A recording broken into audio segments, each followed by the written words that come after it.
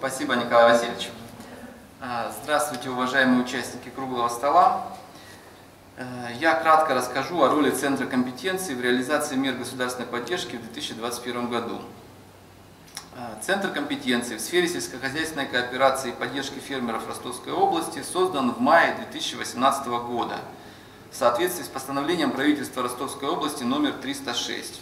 Оно так и называется о Центре компетенции в сфере сельскохозяйственной кооперации.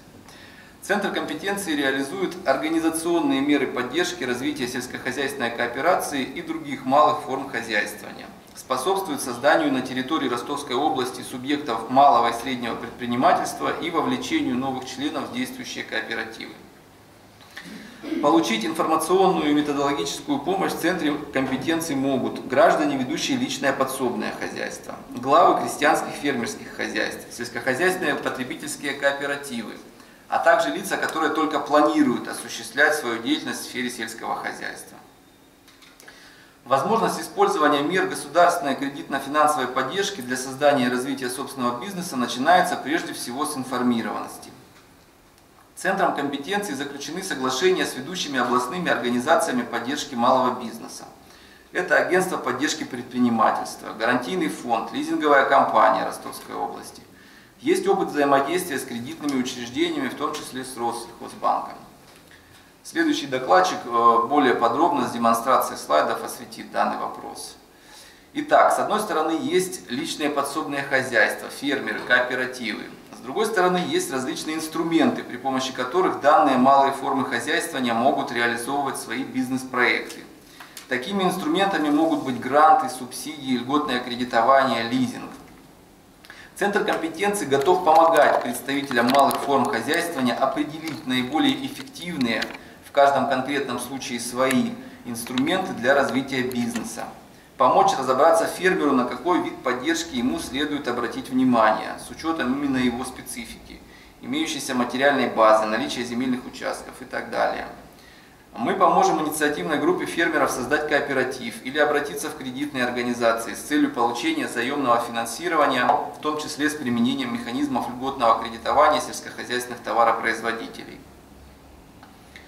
После того, как определен инструмент развития проекта, мы готовы помочь в подготовке и оформлении документов, необходимых для участия в конкурсном отборе на получение грантов и субсидий. Когда участник конкурсного отбора становится победителем, возникают иные вопросы, связанные с сопровождением, такие как подготовка отчетности, внесение изменений в бизнес-план, внесение изменений в уставные документы. В данных вопросах Центр компетенций также готов оказать консультационное сопровождение и помощь фермерам и кооперативам. А, немного цифр за 2020 год.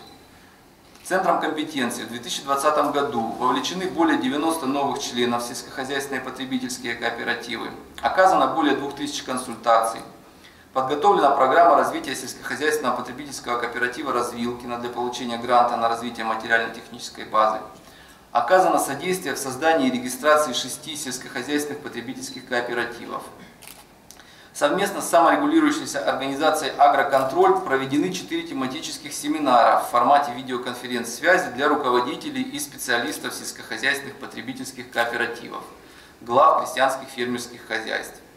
Совместно с Минсельхозпродом области проведено четыре межрайонных совещания по вопросам участия крестьянских хозяйств, сельскохозяйственных потребительских кооперативов в реализации грантовых программ и регионального проекта «Система поддержки фермеров и развития сельской кооперации». В 2021 году мы планируем продолжать консультационно-методическую работу и оказывать услуги субъектам малого и среднего предпринимательства в сфере сельского хозяйства.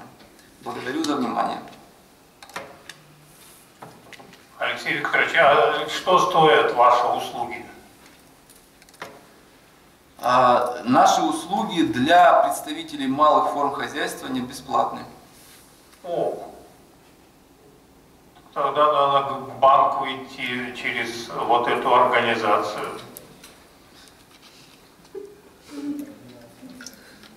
Вот для Левченко еще один совет.